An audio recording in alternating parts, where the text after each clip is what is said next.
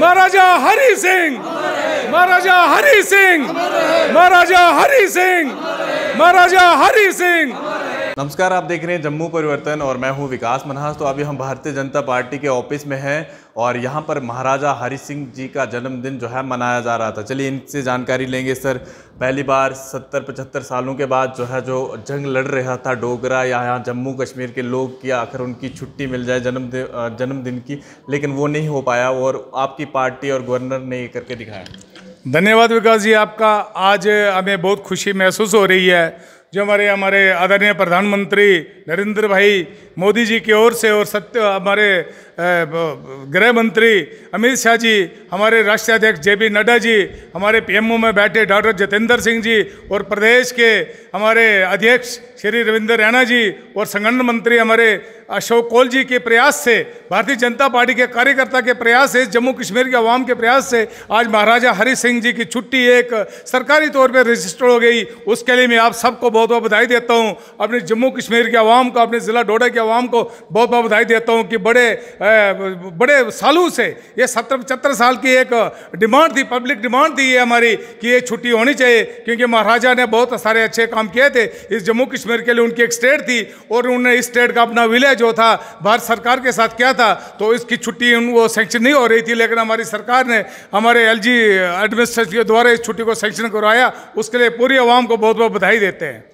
आपने कहा कि छुट्टी सेंक्शन कराना और बहुत सारे काम भी आपने गिनवाए कि इस तरह से ये चीज़ें उन्होंने की थी। क्या कुछ आपको याद है? क्या चीज़ें अभी? मैं आपको बताऊँ, अभी हमारे, मेरे साथ में हमारे बहुत पुराने, हमारे उस्ताद, हमारे मास्टर धर्म सिंह जी रिटायर्ड हैं। इन्होंने याद करवाया, हम जम्मू हॉस्पिटल एस को देखते थे, जो कई वर्षों बहुत पुराना हॉस्पिटल था।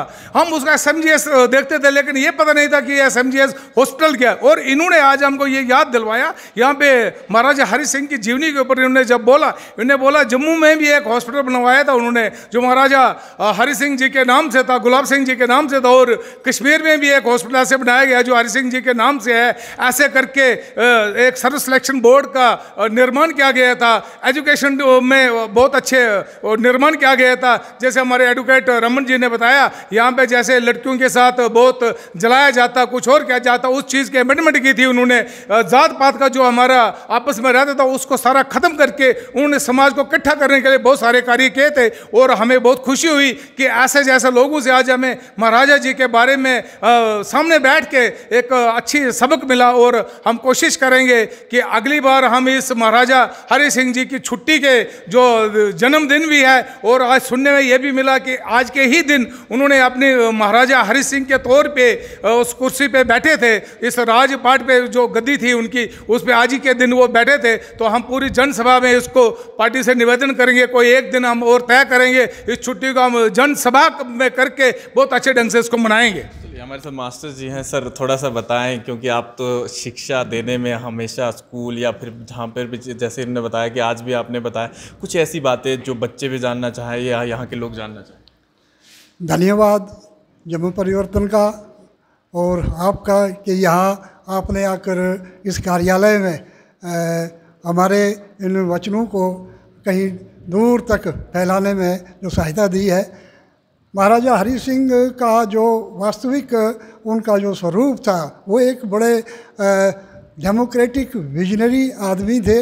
लोगों ने कई लोगों ने, खासकर अपोजिशन वालों ने उनको बड़े ढंगे तरीके से पेश किया है।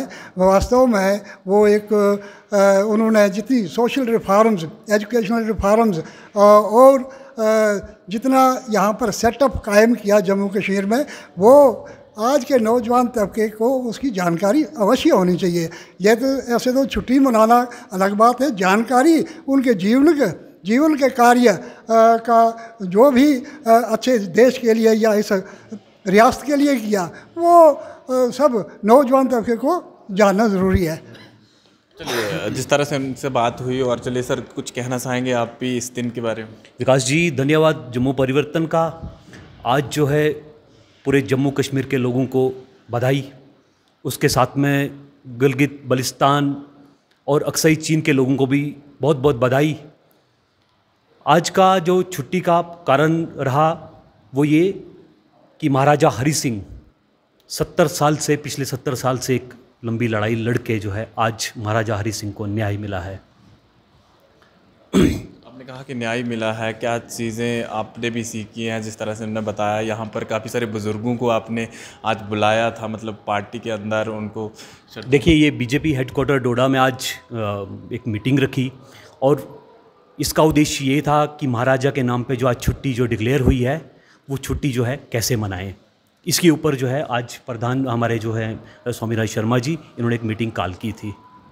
प्रधान जी, एक और लास्ट पूछना चाहूँगा। जो काम आपकी पार्टी ने या अभी गवर्नर ने कर दिया, इससे पहले कांग्रेस या बाकी सारी पार्टियाँ क्यों नहीं कर पाई? विकास जी, हम आपसे यही कहना चाहते हैं कि जम्मू कश्मीर में जो दूसरी पार्टियाँ थी, जिन्होंने सत्तर साल में जम्मू कश्मीर के अंदर राज किया, ये कभी भी यहाँ की जो जनता थी, उसका भला करना नहीं चाहते थे। इसलिए कि इन्होंने तीन सौ सत्तर की आड़ में यहाँ इस जम्मू कश्मीर को खरीद के रखा था और यहाँ की डेवलपमेंट को रोक के रखा था। कुछ लोगों को सब्ज रुमाल, पाकिस्तान का नमक दिखा के ही इस सरकार को को यहाँ पे चलाते थे। लेकिन आपने देखा कि पिछले जब 5 अगस्त 2019 को तीन सौ सत्तर, पैंतीस यहाँ पे तोड़ तोड़ा गया। आदरणीय प्रधानमंत्री अमित शाह, आप, नरेंद्र भाई मोदी जी और गृह मंत्री अमित शाह जी के द्वारा ये तीन सौ सत्तर यहाँ पे तोड़ा गया। और उसके बाद आप देख रहे हैं कि कश्मीर के अंदर कितनी डेवलपमेंट हो रही है। ये चीज़ें जो असलियत है, जम्मू कश्मीर की जो असलियत है, उसको कभी भी आगे लाना नहीं चाहते। लेकिन भारतीय जनता पार्टी का एक पक्का आपस में समझौता है कि जो भी यहाँ के जिस बंदे ने जो कार्य किए, उसको फ्रंट में लाएँगे। और और इसी के चलते आज महाराजा हरि सिंह की छुट्टी के लिए उन्हें लड़ाई लड़ी थी और आज वो छुट्टी एल एडमिनिस्ट्रेशन के द्वारा यहाँ पे सेक्शन करवाई गई। बीजेपी के ऑफ़िस में थे हम और जिस तरह से महाराजा हरि सिंह जी के जन्मदिन को मनाया जा रहा है जगह जगह पे और आज जो है इनके पार्टी के अंदर भी जो है इसको मनाया गया। फ़िलहाल देखते रहे यूँ जम्मू परिवर्तन, मैं विकास मनास टोडा